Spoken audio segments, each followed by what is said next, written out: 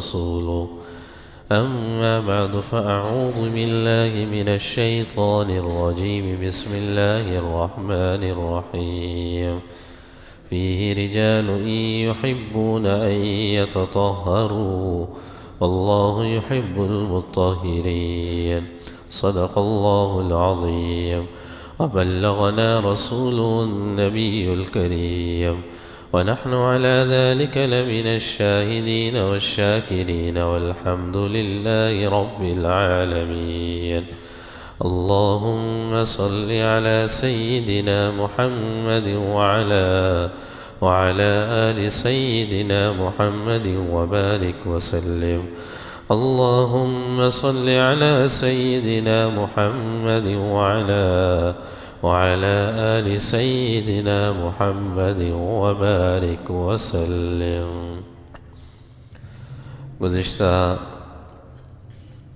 सीरत के दर्स में यहाँ तक बात हुई थी कि रसूलुल्लाह सल्लल्लाहु अलैहि वसल्लम को हिजरत का हुक्म हुआ और आप अपने यार गार रफ़ीक सफ़र हज़रत सिद्दीक़ अकबर रज़ी अल्लाह के साथ रवाना हुए।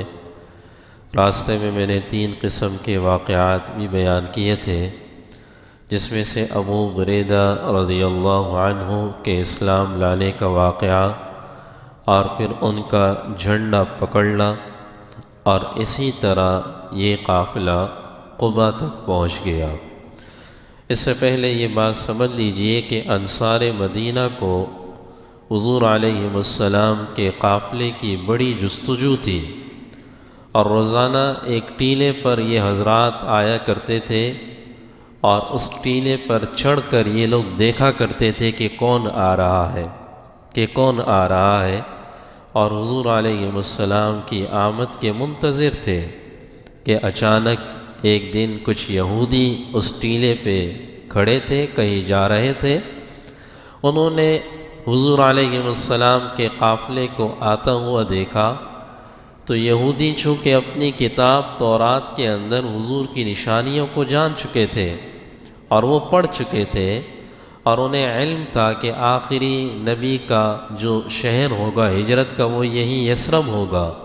तो उन्होंने अंसार मदीना से कहा खुशखब, खुशबख्ती हो, खुशखबरी हो तुम्हारे लिए। तुम जिसके इंतज़ार में थे, हमें तो लग रहा है यही काफ़िला है वो। और यही लोग जो आ रहे हैं, इन्हीं का तुम इंतज़ार कर रहे हो।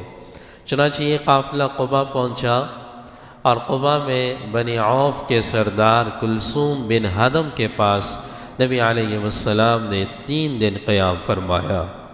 और तीन दिन क़याम फरमाने का जो हमत थी, वह सैदना अली मुर्तज़ा रदी अल्लाह उनके आने के मुंतज़र थे।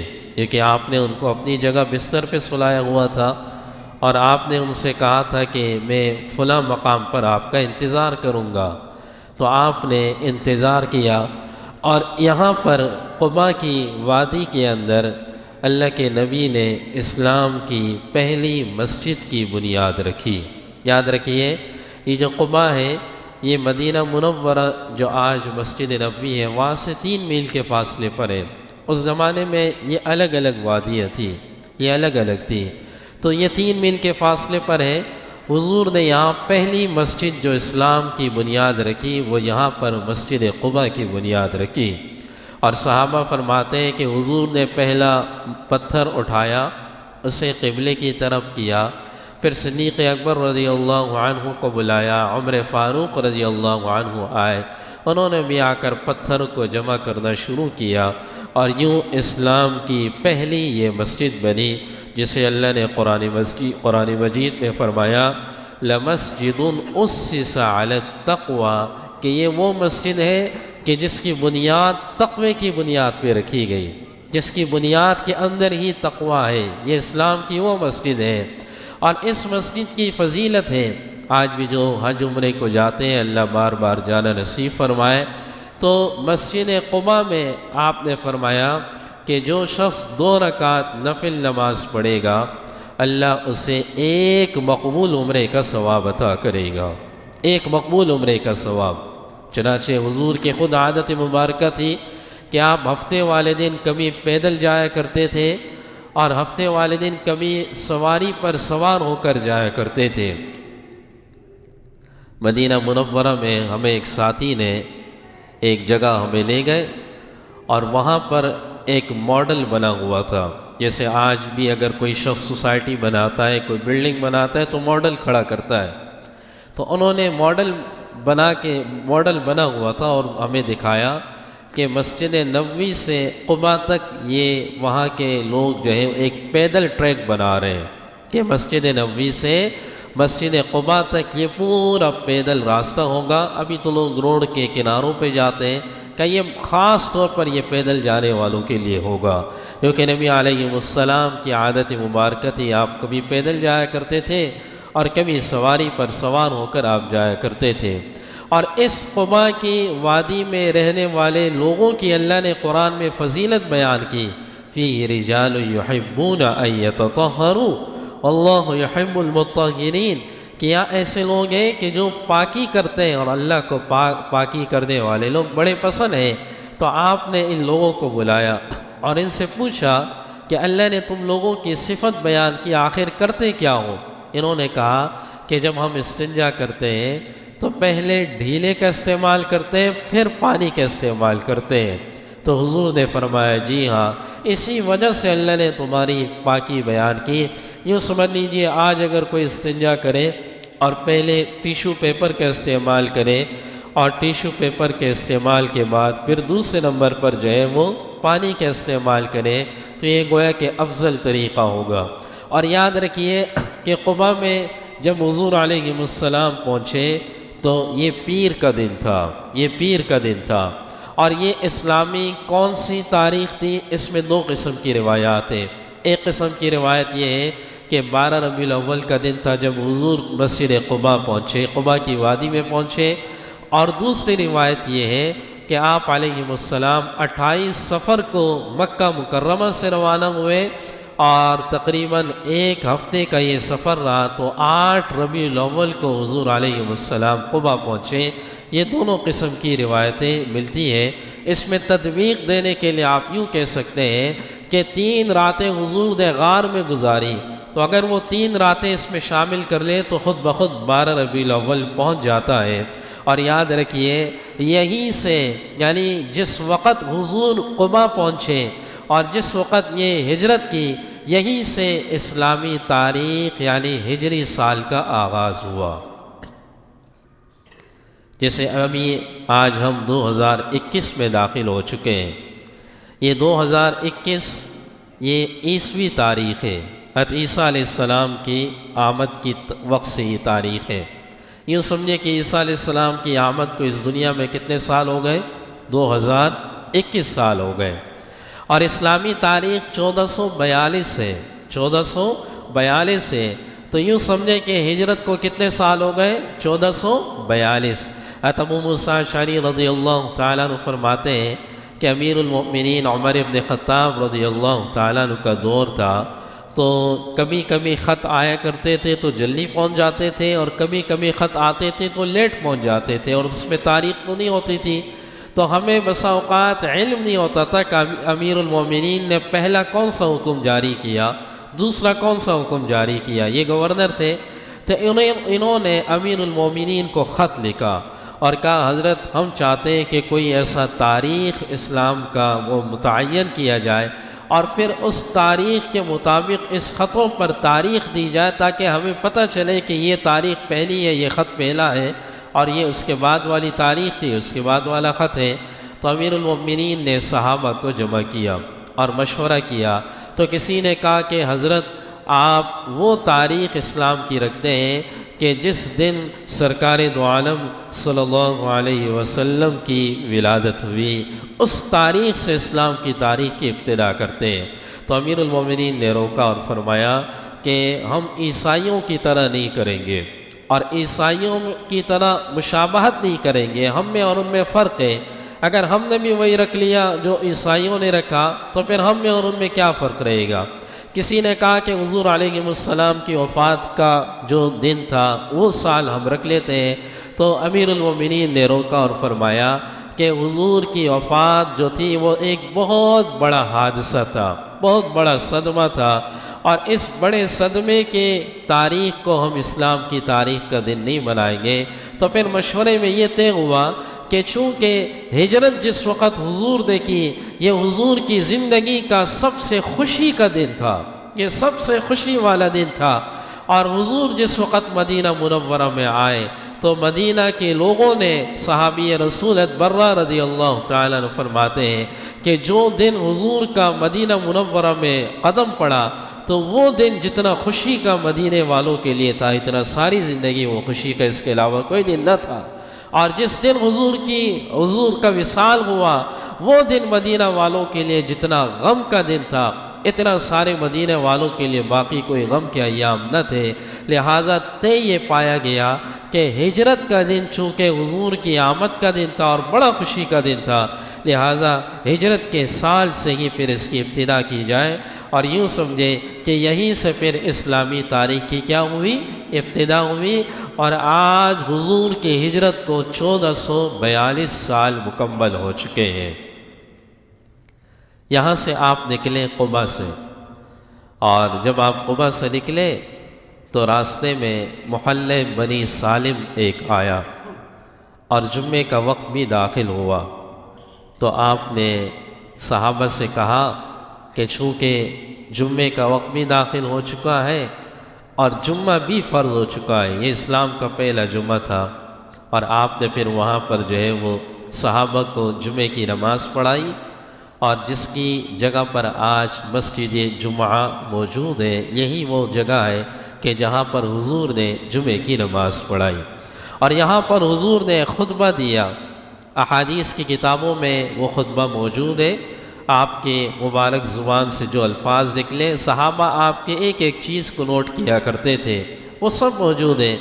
उस खुतबे का कुछ खुलासा जो उर्दू ज़ुबान में आपके सामने करता हूँ। आपने फरमाया कि अल्लाह की तारीफ़ हम करते हैं, अल्लाह से मगफ़रत के तलबगार हैं और कुफर रखने वालों से दुश्मनी रखता हूँ मैं अल्लाह का रसूल हूँ। जो अल्लाह और उसके रसूल की इतात करेगा, वो कामयाब होगा।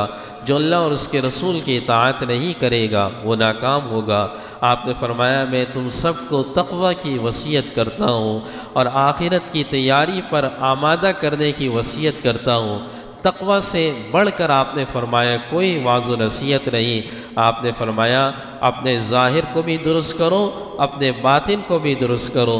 जिसका ज़ाहिर भी दुरुस्त हुआ, बातिन भी दुरुस्त हुआ, आखिरत में उसके लिए बुलंद मकाम अल्लाह ने रखा है। आपने कुरान की एक आयत पढ़ी मायुबद्दलकौलदैया वमा अनबिल्लाबीन कि अल्लाह ने फरमाया, किसी भी शख्स के कौल को तब्दील नहीं किया जाएगा और मैं अपने बंदों पर जुल्म करने वाला नहीं हूँ। आपने फरमाया, तकवा अल्लाह के गज़ब से बचाता है। ये दर्जात की बुलंदी का सबब बनेगा। अल्लाह ने तुम्हारा नाम मुसलमान रखा है और कसरत से ज़िक्र किया करो, आखिरत के लिए कुछ अमाल किया करो, आखिरत के लिए जो अमल करोगे, अल्लाह किया उसका तुम्हें बुलंद मकाम मिलेगा और अल्लाह से अपना मामला दुरुस्त करो। अल्लाह अकबर लाक़वत बिल्ला आपने इस तरह ये खुतबा मुकम्मल किया, मैंने मुख्तसर किया, लेकिन अहादीस की किताबों में तफसील के साथ मौजूद है। अगर आप गौर करें तो इस खुतबे में एक लफ्ज़ भी ये मौजूद नहीं है कि हुजूर ने ये कहा कि मक्के वालों ने हम पे बड़ा जुल्म किया और हम उनके जुल्म से तंग आकर यहाँ हिजरत कर चुके आपने उसका ज़िक्र ही नहीं किया। आपने उसका ज़िक्र ही नहीं किया। आप ऐसी चीज़ों को याद ही नहीं किया करते थे। इसलिए कि अल्लाह के रास्ते में ये तकालीफ़, ये मशक्क़तें, ये नेक लोगों को ही मैसर आती है। और जब आप यहाँ से फ़ारग हुए तो फ़ारग होने के बाद अपनी सवारी पर सिद्दीक़ अकबर रदी अल्लाह तु को आपने बिठाया। और यहाँ से फिर आप रवाना हुए मदीना मुनवरा की तरफ़। मैंने बताया था कि तीन मील का फासला है। और वहाँ एक मकाम आता है। मदीना मुनवरा के लोगों की खुशी की इंतहा नहीं थी। उन्होंने अपनी बच्चियों को अशार याद कराए हुए थे। और एक बुलंद मकाम पर वो बच्चियाँ अशार पढ़ रही थी। और वो बच्चियाँ कह रही थी तलाबद्रना मिन सनीयातिलवदाई वजब शुक्र अलैना दाई वो बच्चियाँ कह रही थी कि आज तो चाँद नमोदार हो चुका है आज तो चाँद नमोदार हो चुका है और आज ये सनिया एक बुलंद मकाम तक ये सनिया के मकाम से चाँद नमोदार हो चुका है वजब शुक्र अलैना हम सब पर आज शुक्र करना वाजिब हो चुका है हम सब पर आज शुक्र करना वाजिब हो चुका है। मदाई दाई। आगे वो कह रही थी अयुहल मबूसफ़ीना कि आप तो अल्लाह ने आपको हमारे दरमियान बेच दिया। नहन जवार मिन बनी नज्जार। या हब्बदा मोहम्मद बिन जार। कि हम बनु नज्जार के पड़ोसी हैं और मोहम्मद सल्लल्लाहु अलैहि वसल्लम के पड़ोस के तो क्या ही कहने। ये बनु नज्जार मदीना मुनव्वरा के अंदर कबीला था। और ये नबी आलम के दादा मुतलब के ननियाल का कबीला था। तो ये समझिए आपकी रिश्तेदारी थी उस कबीले के साथ। तो ये बच्चियाँ कह रही थी कि हम बनु नजार के आज पड़ोसी हो गए। और उस पड़ोसी होने की वजह ये है कि आज हमारे पड़ोस में अल्लाह के नबी आ चुके हैं। यानी इन्होंने इस, इस हद तक खुशी का इजहार किया और कहती और कहती कह रही थी कि जा नबी जा रसूल ये अल्लाह के नबी आ गए। अल्लाह के रसूल आ गए। और चूँकि मदीना मुनवरा आ चुका था तो जिस घर के करीब से आप गुज़रते, वो घर वाला कहता, या रसूल अल्लाह सल्लल्लाहु अलैहि वसल्लम, मेरा घर, मेरी जान, मेरा माल सब आपके लिए हाजिर है। आप यहाँ क़याम फरमाइए। कोई आपकी ऊँटनी की नुकेल को पकड़ता, आप यहाँ रुकिए। लेकिन अल्लाह के नबी की ख़ुद ख्वाहिश थी कि मैं बनु नजार अपने दादा के ननियाल जो रिश्तेदार हैं, वहाँ पर पहले चला जाऊँ। और जब लोगों ने, सहाबा ने बहुत ज़्यादा ज़ोर देना शुरू कर दिया तो आपने फरमाया कि दाऊहा इस ऊँटनी को अपने हाल पे छोड़ दो। फ़िन नहा मामूरा ये अल्लाह की तरफ़ से मामूर है। इसको जहाँ हुक्म मिलेगा, ये वहाँ ठहर जाएगी। ये वहाँ पे ठहर जाएगी, इसको छोड़ दो। अब लोगों ने ऊँटनी की नुकील को छोड़ दिया। अब ये ऊँटनी जा रही है, जा रही है। यहाँ तक कि ये बनु नजार के मोहल्ले में आ गई और वहाँ पर ये ऊँटनी बैठ गई। लेकिन नबी आलम वहाँ उस ऊँटनी से नहीं उतरे। फिर ये ऊँटनी थोड़ी सी और खड़ी हो गई। फिर थोड़ा सा और आगे गई। तो तब वो यूब अंसारी रज़ी अल्लाह उनके घर के करीब जाकर ये रुक गई। एक रिवायत ये है। दूसरी रिवायत ये है कि बनु नजार के मोहल्ले में ये जाके रुक गई और जब रुकी तो कजावा सबसे पहले अबू अयूब अंसारी रज़ी अल्लाह तु ने पकड़ लिया। और कहने लगे, चूँकि मैंने कजावा पकड़ लिया लिहाजा मेरे यहाँ जाएँगे आप। पहले मेरे यहाँ जाएँगे। और ऊँटनी एक और साहबी साद बिन ज़रारा रज़ी अल्लाह ऊँटनी उन्होंने पकड़ ली। तो हुजूर ने फरमाया, जिसका खजावा, मेहमान उसी का। जिसका खजावा, मेहमान उसी का। तो अल्लाह के नबी सल्लल्लाहु अलैहि वसल्लम तबू अयूब अंसारी रज़ी अल्लाह तु के घर ठहर गए और वहाँ चले गए। ये डबल स्टोरी घर था। ये यूँ था कि एक मंजिल नीचे और एक मंजिल ऊपर तो उन्होंने कहा कि अल्लाह के नबी, आप ऊपर क़याम फरमाइए, मैं नीचे क़याम कर लूँगा। लेकिन हुजूर आलम ने फरमाया कि लोग मुझसे मिलने के लिए आएँगे तो लिहाजा आपको तकलीफ़ होगी, मैं नीचे क़याम कर लेता हूँ, आप ऊपर क़याम करें। और तीन दिन तक नबी आलम इस मकाम पर ठहर गए, जो अबू अयूब अंसारी रज़ी अल्लाह का घर था। और याद रखिए आज ये घर किस मकाम पे है? ये ऊँटनी पहले रुकी थी, जिस मकाम पे आज मस्जिद नबी का दरवाज़ा है, ये ऊँटनी वहाँ रुकी थी। बाबुसलाम जिस मकाम से सलाम के लिए हम दाखिल होते हैं, अगर आप सलाम देकर यूँ वापस आए, वापस यूँ बाबुसलाम की तरफ़ आने लगे तो रास्ते में उन्होंने एक सतून बनाया हुआ है, ऊपर दो किस्म के ड्रम रखे हुए हैं। और ये आपको बज़ाहिर जो नया बंदा होता है, उसे समझ नहीं आएगी लेकिन ये निशानी है, ये वो मकाम था कि जहाँ पर नबी आलम की सवारी अबू अयूब अंसारी रज़ी अल्लाह के घर ठहर गई। सलाम के रास्ते से आप वापस बाबुसलाम की तरफ़ आएँगे तो रास्ते में एक इस तरह का सुकून है, ऊपर दो किस्म के ड्रम रखे हुए हैं। ये वो मकाम है कि जहाँ पर नबी आलम की सवारी रुकी। और ये घर कैसा घर था, इस घर के बारे में आपको बताता चलूँ कि एक सहाबी फरमाते हैं कि हज़रत अबू अयूब अंसारी रज़ी अल्लाह का जो घर था, एक बादशाह यमन का तुब्बा उसका नाम था। और यमन के इस बादशाह का नाम, यानी उस ज़माने में यमन के बादशाहों को तुब्बा कहा जाता था। कुरान में भी ज़िक्र है, तुब्बा नाम के बादशाह का। ये बादशाह अपने 400 सौ यहूदी उलमा के साथ ये सफ़र पे निकला। तो जब ये यसरफ के मकाम से गुज़रने लगा तो उन यहूदी ने कहा कि, बादशाह सलामत, आपकी इजाज़त हो तो हमें इस शहर में ठहरने की इजाज़त दी जाए और हम यहाँ से आगे जाना नहीं चाहते। बादशाह ने पूछा, क्या वजह है? कहने लगे कि हमने तो रात में जिस नबी आखिर उस ज़मान के बारे में पढ़ा और जिन निशानियों का पढ़ा तो वो सब के सब इस शहर में जमा है। और हमें यकीन है कि वो इस शहर में अनकरीब आने वाले हैं। हम चाहते हैं कि हम उनके हाथ पर मुसलमान हो जाए, उनके हाथ पर ईमान ले आए तो हम यही ठहरना चाहते हैं। बादशाह ने कहा, तुम इस मामले में पक्के हो कि वाकई है वो शहर है? कहने लगे, जी हाँ ये वही शहर है। तो बादशाह ने उन लोगों को इजाज़त दी और उनके लिए वहाँ मकानात बनवाए। तो एक मकान बादशाह ने अलग से बनाया और अलग से बनाने के बाद बादशाह ने कहा कि आप में से जो भी ज़िंदा रहा और जिस नबी नबी आखिर ज़मान को देखा तो ये मकान मेरी तरफ़ से उनके लिए हदिया होगा।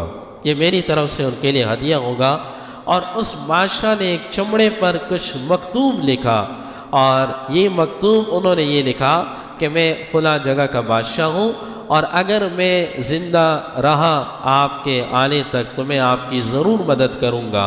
आप पर ईमान लाऊँगा, आपके साथ जंग करने वालों से जंग करूँगा। और अगर ज़िंदा न भी रहा, मेरा मकतूब आप तक पहुँच जाए, तब भी मैं आप पर ईमान लाता हूँ। ये मकतूब नस्ल दर नस्ल चलता रहा चलता रहा। और ये मकतूब पहुँचते पहुँचते हत अबू अयूब अंसारी रदी अल्लाह तु तक पहुँचा। और उस वक़्त उन्होंने ये मकतूब हजूर आसमाम को दिखाया। जब आप इनके घर में आए तो उन्होंने ये मकतूब आपको दिखाया कि हमारी नस्लों में ये मकतूब चल रहा है। तो यूँ समझिए कि अबू अयूब अंसारी हुजूर के घर में ठहरे हुए थे। यूँ समझिए कि अबू अयूब अंसारी, वो हजूर आसमाम के घर में ठहरे हुए थे और ये अल्लाह के नबी का घर था, जो उस बादशाह ने आपके लिए बनाया हुआ था। तो खैर, ये इस तरह अबू अयूब अंसारी रज़ी अल्लाह का ये घर था। ये मेज़बान रसूल के नाम से जाने जाते वो अयूब अंसारी रज़ी अल्लाह इनका मकबरा इस्तंबुल के अंदर है और वहाँ पर जो है वो, जहाँ इनका मकबरा है, वहाँ इनकी तारीख़ लिखी हुई है। और उस कब्र के बारे में लिखा हुआ है कि ये कबर सुल्तान एक उनका गुज़रा है। उस सुल्तान के दौर में इनकी कब्र गुम हो गई। और निशान किसी को नहीं पता था कि कौन सी कब्र है। तो उस वक़्त का जो बादशाह था, उसे ख्वाब में ये सहाबी आए और उन्होंने कहा, मेरा, मेरी जो कब्र है वो फ़ला जगह पर है और फ़ला उसकी निशानी है। तो वो बादशाह आए फिर और उस जगह की निशानदही की और आज वहीं पर एक खूबसूरत सी मस्जिद बनाई हुई है उन्होंने। और वहीं पर अबू अयूब अंसारी रदी अल्लाह से मनसूब कुछ चीज़ें मौजूद हैं। नबी आलम की ज़ात से मनसूब कुछ चीज़ें मौजूद हैं। तो ये अबू अयूब रदी अल्लाह मेज़बान रसूल कहलाते हैं। हजूर आलम ने तीन दिन क़्याम फरमाया तो आपने उसके बाद हुक्म दिया कि इस घर के करीब एक मैदान था, एक छटियल मैदान था। आपने फरमाया, मेरा जी चाहता है कि इस जगह पर मस्जिद बनाई जाए। तो याद रखिए, इससे अंदाज़ा लगाइए कि मुसलमान पहले जहाँ भी जाए, हजूर की सुन्नत क्या है कि पहले मस्जिद बनाई जाए, पहले मस्जिद बनाई जाए, बाद में घर की फ़िक्र की जाए। हिंदुस्तान में कौम गुजरात, गुजराती वो मशहूर है, वो दुनिया में जहाँ भी जाती है, पहले मस्जिद बनाती है, और उसके बाद एक मदरसा या एक दरसगाह बनाती है, फिर अपने घरों का सोचती है। और उसके उन, और उस कौम के और उन लोगों की खसूसियत है। हमारे यहाँ इसकी बहुत कमी है और हमारे लोग जब बाहर कहीं जाते हैं तो पहले अपना सोचते हैं अपने घर अपने घर का सोचते हैं। मस्जिद का तो खैर बहुत दूर तक है मस्जिद के बारे में कम सोचते हैं। वो हज़रत मस्जिद के बारे में पहले सोचते हैं। हजूर आलम ने उस जगह को पसंद किया तो आपने पूछा ये किस की है? आपको बताया गया कि ये दो यतीम बच्चों की जगह है, सहल और सुहेल रदी इन दोनों को इल्म हुआ तो इन दोनों ने काम हदिया करते हैं, हम हदिया करते हैं मस्जिद के लिए। लेकिन हजूर आलम ने मना फरमाया, आपने फरमाया, ऐसी जगह हम नहीं लेंगे यतीमों की हदिया। आपने फरमाया सदीक़ अकबर से कि इस जगह की जो कीमत है, वो कीमत अदा की जाए। तो सदीक़ अकबर रज़ी अल्लाह ने दस सोने के सिक्के, यानी दस दीनार, उनको दिए और इस तरह ये जगह ख़रीदी गई। शुरू में ये जो जगह ख़रीदी गई, छोटी सी जगह थी, ज़्यादा बड़ी जगह नहीं थी। आप यूँ समझे कि तिरसठ बाई तिरसठ जगह थी। तिरसठ बाई तिरसठ जगह थी, इतनी लंबी नहीं थी। और फिर उसके बाद इस जगह के करीब एक और जगह थी। इस जगह के पास एक और जगह थी और नबी आलम ने इरादा फरमाया कि इस जगह को भी मस्जिद में शामिल किया जाए और आपने ऐलान किया कि ये जिसकी जगह है, अगर उन्होंने मस्जिद के लिए जगह दे दी तो मैं यकीन के साथ कहता हूँ कि उसके लिए जन्नत में मैं महल उसे तैयार करवा के दूँगा। उस सहाबी को इल्म हुआ तो सहाबा बेतकल्लुफ़ थे। वो हुजूर की खिदमत में आए और कहने लगे, या रसूल सल्लल्लाहु अलैहि वसल्लम, वो जगह मेरी है लेकिन मेरे पास इस जगह के अलावा कुछ है नहीं। मैं चाहता हूँ मुझे उस जगह की थोड़ी कीमत अदा की जाए। ये बात उस्मान गनी रज़ी अल्लाह को पता चली तो वो आए हुजूर की खिदमत में और अर्ज़ किया कि जो जन्नत के महल की ज़मानत आपने दी, क्या वो इस सहाबी के लिए ख़ास है या वो मेरे लिए भी हो सकता है? आपने फरमाया, वो किसी के लिए भी हो सकता है। तो उन्होंने कहा, मैं ये जगह मस्जिद के लिए ख़रीदता हूँ। और उस्मान गनी रज़ी अल्लाह ने उस जगह की कीमत उस सहाबी को अदा की और ये हजूर की ज़िंदगी में मस्जिद की थोड़ी सी ये तोसी हुई। उसके बाद नहीं हुई हजूर की ज़िंदगी में, उसके बाद खलफा राशिदीन की ज़िंदगी में हुई। लेकिन हजूर की ज़िंदगी में ये हुई और सौ बाई सौ समझे कि ये मस्जिद उस वक़्त फिर बनी। आज भी अगर आप मस्जिद नबी में जाते हैं तो मस्जिद नबी में जो अंदर का हिस्सा है, जहाँ रियाजुलजन्ना वगैरह है, ये तुर्कों ने बनाया हुआ है। और वहाँ पर कुछ सुतून है, और उस सुतून के ऊपर, उस सुतूनों के ऊपर आप देखेंगे नीचे नहीं उसके ऊपर एक हरे रंग का लगा होता है, और उस पर लिखा होता है, हाजा मकाम मस्जिद नबी कि ये हुजूर की मस्जिद के मकाम की जगह में ये सुतून आ रहा है। यानी ये सुतून आ रहा है। वो चंद सुतून है वो आप देखेंगे तो आपको पता चलेगा, ऊपर लिखा होता है, हाजा मकाम मस्जिद नबी के हुजूर के मस्जिद जो हुजूर की ज़िंदगी में थी, ये उसके मकाम पे ये ये सुकून आ रहा है। हती के जो मर्रखीन है, ये तो हुजूर की मस्जिद थी। मर्रखीन ने तो उस मस्जिद के करीब सहाबा और सहाबियात के घरों का भी स्केच बनवाया। सहाबा और सहाबियात के घरों का भी। मदीना मुनवरा के अंदर एक हमारे बहुत ही दोस्त मेहरबान है हत मौलाना डॉक्टर इलियास साहब। उन्होंने पीएचडी की हुई है और पीएचडी सिर्फ़ मस्जिद नबी के मकाम पर, मदीना मुनवरा के मकाम पे पीएचडी की हुई है। किताबें लिखी है अरबी में, उर्दू में, इंग्लिश में, बुयूत सहाबा सहाबा के घर कहाँ कहाँ थे?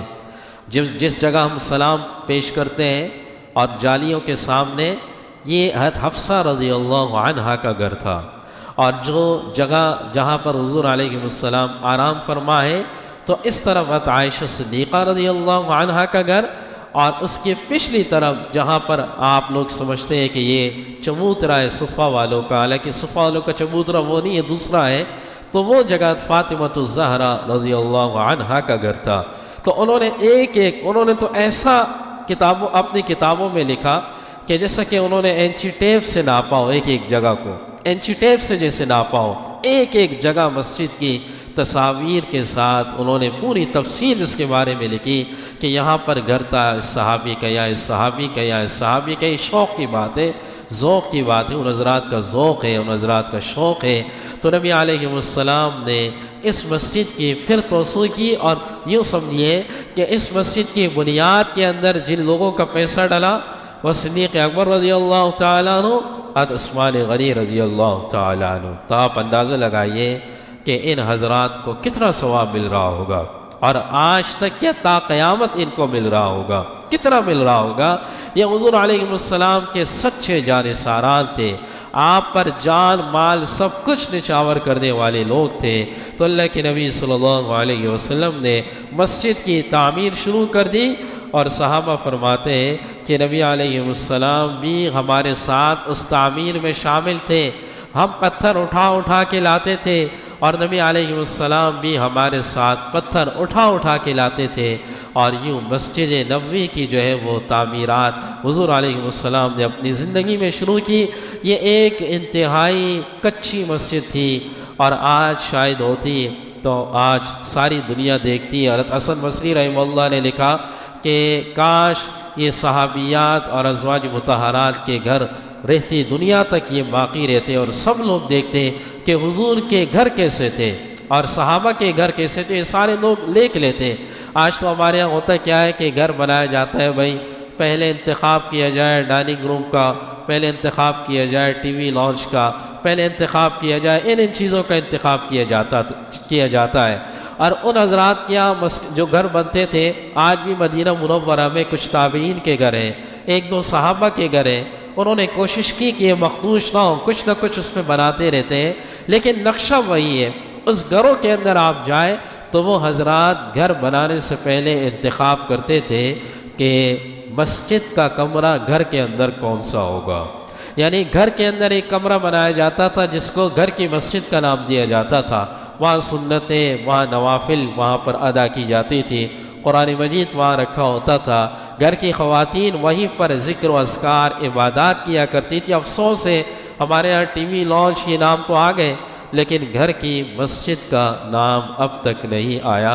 हमें चाहिए अपने घर के अंदर एक कमरे को घर की मस्जिद का नाम दें और वहाँ पर कुछ किताबें रखें, वहाँ पर जो है वो मुसल्ले रखें और वहाँ पर हर वक्त खुशबू रखें। और उस कमरे को बंद रखें। वहाँ सिर्फ़ नमाज़ के लिए या सुन्नत नवाफिल के लिए वहाँ पर जाया जाए, इससे आपके बच्चों की तरबियत होती रहेगी। और याद रखिए, घर के मर्द जब घर के अंदर नवाफिल सुन्नतों का अहतमाम करेंगे तो आपके बच्चे खुद ब खुद आकर नकलें उतारना शुरू हो जाएँगे। आपके करीब आ जाएँगे, नकलें उतारना शुरू हो जाएँगे। यहीं से उनकी तरबियत जो है वो शुरू हो जाती है। तो नबी आलम के अजवाज मतहरात के घर वो इसी तरह पसमानदा घर और ये मस्जिद भी इसी तरह जो थी, वो एक खजूर की छाल ऊपर, छत के ऊपर थी। और एक कच्ची सी मस्जिद थी, छोटी सी मस्जिद थी जो अल्लाह के नबी ने इस्लाम की सबसे बड़ी जो मस्जिद और मरकज़ी मस्जिद की जो बुनियाद रखी, वो ये मस्जिद थी, मस्जिद नबी जिसे आज कहा जाता है। बाज़ मौरखीन तो ये भी लिखते हैं कि आज का जो मस्जिद नबी है यूँ समझिए कि सारा मदीना मुनवरा आज का उस मस्जिद के अंदर आ चुका है। ज़ाहिर है, छोटी सी वादी थी तो कहते हैं सारा मदीना, यूँ समझिए कि सारे मदीने की आबादी इस मस्जिद के अंदर आ चुकी है। लेकिन बास कहते हैं ऐसा नहीं है कुछ कुछ आबादियाँ थोड़े से फासले पर भी मौजूद थी। अल्लाह रब्ज़त इन बातों पर अमल की तोफ़ी ख़ता फ़रमाए।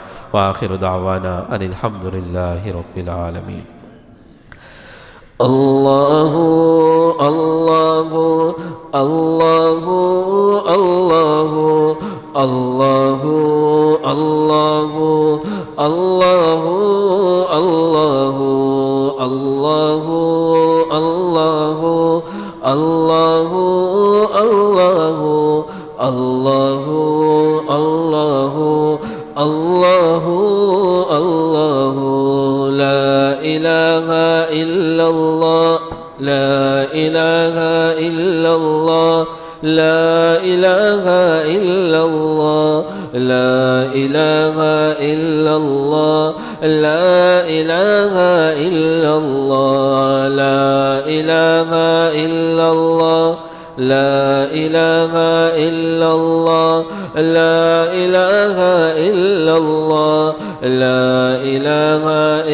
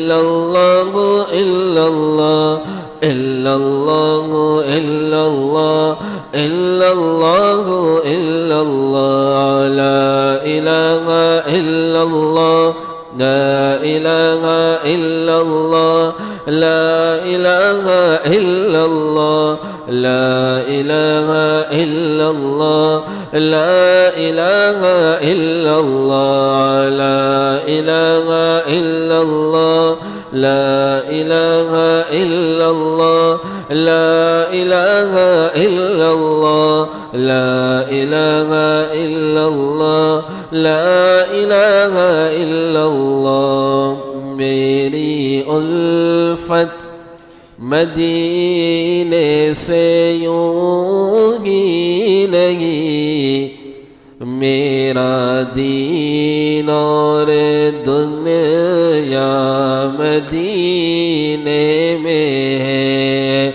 मेरी उल्फत मदीने से यूँ ही नहीं। मेरा दीन और दुनिया मदीने में है। फूल खिलते हैं पढ़ पढ़ के सल्ले अला झूम कर के रही है ये बात सबा ऐसी खुशबू चमल के गुलों में कहा? ऐसी खुशबू चमल के गुलों में कहा? जैसी खुशबू नबी के पसीने में है। मैं यहाँ हूँ, मेरा दिल मदीने में है। एक तरफ़ है जन्नत तेरी, एक तरफ़ हुजरा तेरा। मेरे मौला बता, अब मैं जाऊँ कहाँ मेरे मौला? बता, अब मैं जाऊँ कहाँ? बेच दी रब ने जन्नत, उसी हुजरे में बेच दी रब ने जन्नत उसी हुजरे में अम्मा आयशा का हुजरा मदीने में है। मैं यहाँ मेरा दिल मदीने